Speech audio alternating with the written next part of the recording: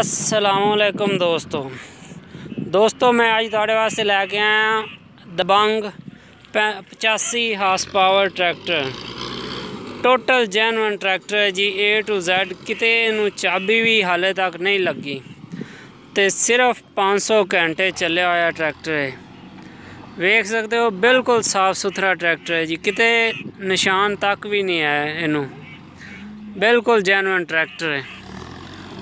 ਸਾਫ਼ ਸੁਥਰਾ ਤੇ ਸੋਹਣਾ ਟਰੈਕਟਰ। ਇਹ ਦੇਖ ਲਓ ਸ਼ੋ ਵੀ ਇਹਦੀ ਚੈੱਕ ਕਰ ਲਓ, ਬਿਲਕੁਲ ਸਾਫ਼ ਸੁਥਰੀ ਪਈ ਹੈ ਜੀ। ਇਹ ਦੇਖੋ। 16 ਆਨੇ ਟਰੈਕਟਰ ਹੈ ਜੀ। ਕਿਤੋਂ ਕੋਈ ਮਸਲਾ ਮਸਾਇਲ ਜਾਂ ਚਾਬੀ ਵੀ ਕਿਤੋਂ ਨਹੀਂ, ਹਾਲੇ ਇਹਨੂੰ ਕਿਤੋਂ ਵੀ ਖੁੱਲਾ ਹੋਇਆ ਟਰੈਕਟਰ ਨਹੀਂ ਹੈ। ਬਿਲਕੁਲ ਜੈਨੂਨ ਟਰੈਕਟਰ ਖੜਾ ਹੈ। ਆ ਟਾਇਰ ਦੇਖ ਲਓ, ਬਿਲਕੁਲ ਨਵੇਂ ਪੈਨ ਸਿਰਫ ਇਹ ਹਾਲੇ 500 ਘੰਟੇ ਚੱਲਿਆ ਹੋਇਆ ਟਰੈਕਟਰ ਹੈ। ਜ਼ਿਆਦਾ ਹੀ ਕੋਈ ਨਹੀਂ ਤੇ 2018 ਮਾਡਲ ਹੈ ਜੀ। 8ਵੇਂ ਮਹੀਨੇ ਦੀ 24 ਤਰੀਕ ਨੂੰ ਇਹ ਕਢਾਇਆ ਗਿਆ ਹੈ ਜੀ ਤੇ ਕੈਸ਼ ਦਾ ਟਰੈਕਟਰ ਹੈਗਾ ਤੇ ਖੁੱਲੇ ਕਾਗਜ਼ਾਂ 'ਚ ਹੈਗਾ ਬਿਲਕੁਲ ਜ਼ਬਰਦਸਤ ਟਰੈਕਟਰ ਹੈ ਜੀ।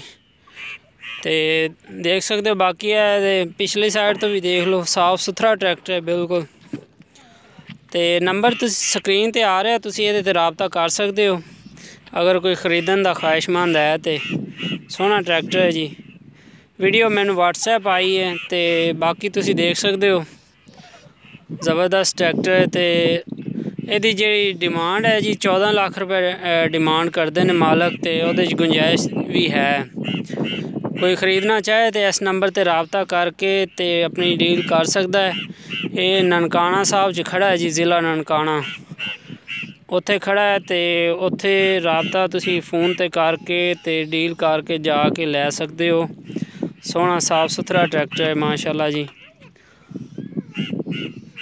ਰਿਮ ਵੀ ਤੁਸੀਂ ਟਾਇਰ ਰਿਮ ਦੇਖ ਸਕਦੇ ਹੋ। ਵੇਟ ਇਹਨੂੰ ਲੱਗੇ ਹੋਏ ਨੇ ਜੀ ਰਿਮਾਂ ਵਾਲੇ ਵੇਟ ਲੱਗੇ ਹੋਏ ਨੇ, ਅਗਲੇ ਵੀ ਵੇਟ ਲੱਗੇ ਹੋਏ ਨੇ।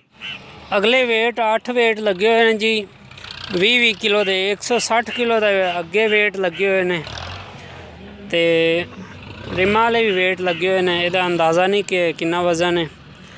ਤੇ ਬਾਕੀ ਟਰੈਕਟਰ ਸਾਫ਼ ਸੁਥਰਾ ਦੇਖ ਸਕਦੇ ਹੋ ਤੁਸੀਂ।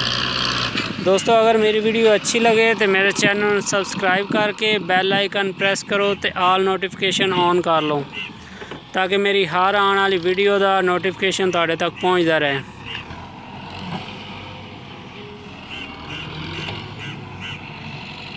ਬਾਕੀ ਟਰੈਕਟਰ ਤੁਸੀਂ ਦੇਖ ਲਿਆ ਸਾਫ਼ ਸੁਥਰਾ ਟਰੈਕਟਰ ਹੈ ਜੀ ਮਾਸ਼ਾਅੱਲਾ ਸੋਹਣਾ ਟਰੈਕਟਰ ਹੈ